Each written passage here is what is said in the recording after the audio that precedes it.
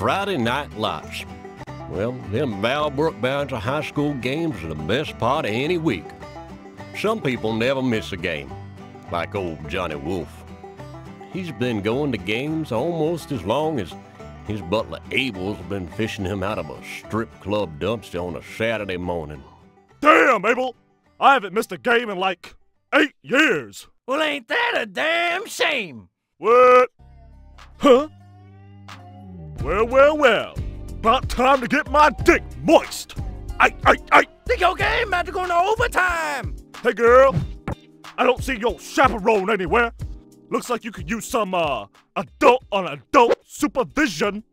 You know I'm like in high school, right? What, what you saying?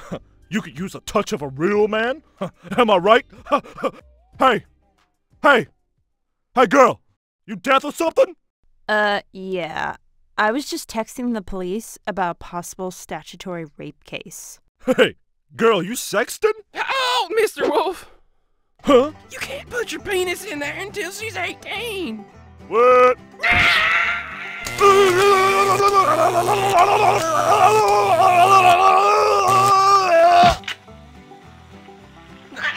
Damn, son. Guess you got your dick wet after all. Well, I suppose a lot's changed since I was in high school, too. Let me tell you something. There's a lot more ladies graduating before they get married. And something about that just seems un-American. Anyhow, y'all come back for a hoot and a half.